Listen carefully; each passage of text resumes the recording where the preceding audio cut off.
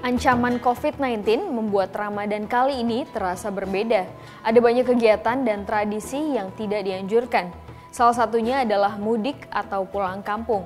Pemerintah mengimbau agar masyarakat mengganti tradisi silaturahmi dengan memanfaatkan teknologi informasi, salah satunya melalui konferensi video. Berikut tiga aplikasi konferensi video yang bisa kamu coba untuk mengganti tradisi silaturahmi bersama keluarga.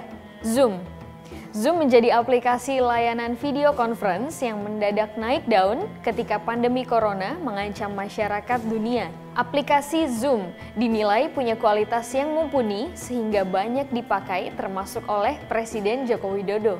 Skype Skype mudah digunakan dan mendukung antar perangkat karena bisa diakses di laptop, komputer, dan smartphone.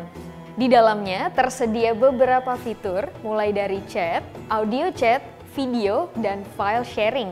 Di rumah aja .live, layanan konferensi video asal Indonesia ini tidak mengharuskan melakukan instalasi. Kamu juga tidak perlu membuat akun terlebih dahulu untuk dapat memanfaatkan layanan ini. Layanan ini dapat digunakan baik melalui perangkat desktop, laptop, maupun perangkat mobile seperti tablet dan smartphone.